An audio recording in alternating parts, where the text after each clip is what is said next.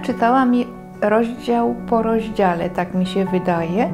Może coś mylę, ale chyba tak. Ja płakałam jak bubr, wszystko było mokre, cała kanapa, ale to spowodowało jakieś takie oczyszczenie moje wewnętrzne. E, ja sobie dopiero teraz z tego zdaję, a to było jakiś tam miesiąc temu, czy trochę więcej.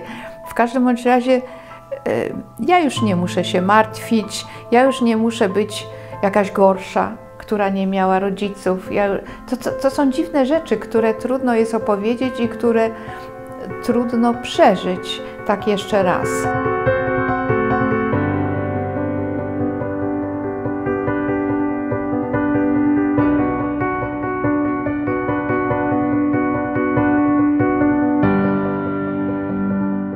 Nosiłam się z zamiarem napisania tej książki chyba z dwa lata.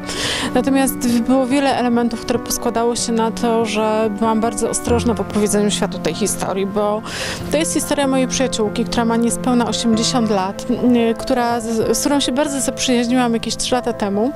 Zaczęłyśmy y, jeździć y, między innymi na moje autorskie spotkania i Ewa w samochodzie podczas wielu godzin jazdy, któryś się powiedziała, wiesz, moja mama była w Auschwitz. Trochę mnie to zmroziło, ale potem Ewa dodała, wiesz, była w Auschwitz i wydarzyło się to, i wydarzyło się tamto, a mój tata to, a mój tata tamto. I to było niesamowicie elektryzująca historia i w momencie, kiedy e, zaczęłam o niej głębiej myśleć, zaczęłam szukać i, i, i pogłębiać historię opowiadaną przez Ewę, Ewa w ubiegłym roku dokładnie na targach książki w Krakowie, by mi towarzyszyła, powiedziała, wiesz co, ja marzę o tym, żeby ktoś opowiedział historię mojej mamy. I to był taki moment, który spowodował, że ja się za, za to rzeczywiście zabrałam i nie dość, że mogłam opowiedzieć tą historię i uratować jeden maleńki puzelek historii, to tak naprawdę jeszcze oprócz tego mogłam spełnić marzenie, marzenie Ewy. Tu jest bardzo dużo wstrząsających momentów, ale ten w sumie jeden z takich pierwszych, z którym czytelnik się zderza, to jest to, że e, pani Stefania do e, obozu trafiła no, przez swojego męża. Wiesz co, to była najbardziej szokująca rzecz, że ona rzeczywiście trafiła jako zakładniczka za męża. On był partyzantem, e, bardzo zaciekłym patriotą, bardzo taką osobą waleczną. Są e, w Wikipedii e, hasła, które jego dotyczą. Został oznaczony sześcioma oznaczeniami e, z Virtuti Militari na czele. To była postać postawiona na posągu, natomiast o tej żonie i tej całej sytuacji, która się działa obok i rodzinie, jakby nikt nie mówił i nikt nie wiedział wcześniej. I co się okazało? Okazało się, że e, on w tym całym swoim bohaterstwie i tej swojej walce nie miał odwagi w momencie, kiedy gestapo przyjechało do domu, nie miał odwagi wyjść ze skrytki.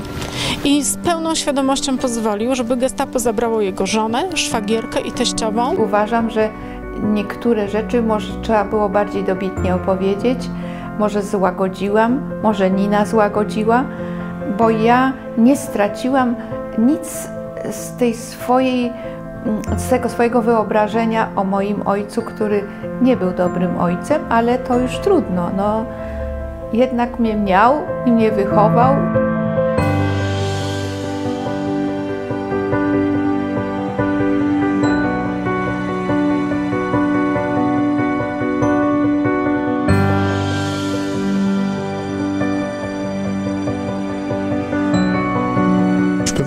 Momencie, no nie wiem, zrządzenie losu, y, y, chociaż szczęście chyba w tym wypadku to jest na- nadużycie, że trafia na SS-mana Jurgena, który mimo tego, że jest całkowicie po tej drugiej y, y, stronie, no to ma w sobie ludzkie, y, ludzkie odruchy i uczucia. Wiesz co, to jest absolutny przypadek, to jest niesamowite szczęście, ale to też było dla niej niesamowitym zaskoczeniem, że w, tutaj w tym piekle pojawiła się osoba, która w tym, na to piekło się też nie zgadzała, to był, nie był jej wybór i która miała odwagę jej pomagać, ale tylko jej. I to, co najbardziej szokujące, książka ma tytuł Tajemnica z Auschwitz, ale wyobraź sobie, że pani Zofia, z którą się spotkałam, ona o tym Jurgenie i o tej sytuacji dopiero dowiedziała się ode mnie. Stefania nigdy nikomu nic nie powiedziała, z wyjątkiem córki. Yy, Ewie opowiedziała najwięcej, dwóm córkom gdzieś tam trochę mniej, ale to była tajemnica, którą ona zabrała do, do grobu i to, to była... Yy, to chyba była, to był człowiek, jedyny mężczyzna, jedyny człowiek, który się nią zajął, zaopiekował, zrozumiał, który w tym miejscu irracjonalnie dał jej poczucie bezpieczeństwa na tyle, na ile w tym miejscu można było to poczucie bezpieczeństwa jej dać.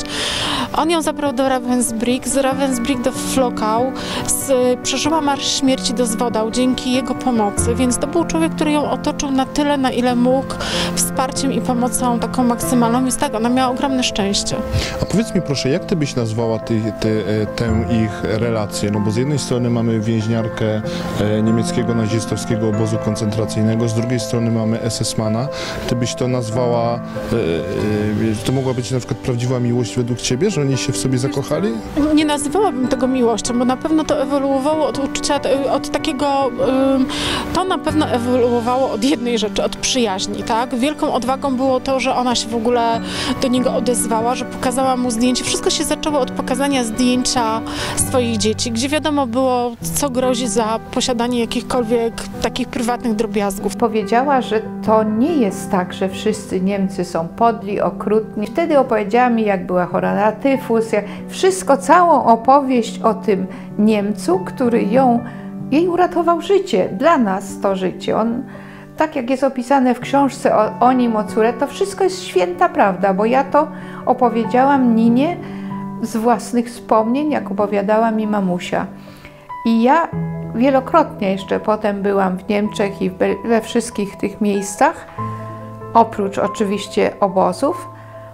I zawsze mi się wydawało, że muszę być bardzo grzeczna dla Niemców. Nie mogę krzyczeć Hitler kaput, tylko muszę mówić good morning albo nie, guten tag, bo mamusia by była z tego zadowolona. Prawdopodobnie ja nie byłam od razu zadowolona, że to był Niemiec, SS-man, że to wzbudzało we mnie jakąś niechęć czy odrazę.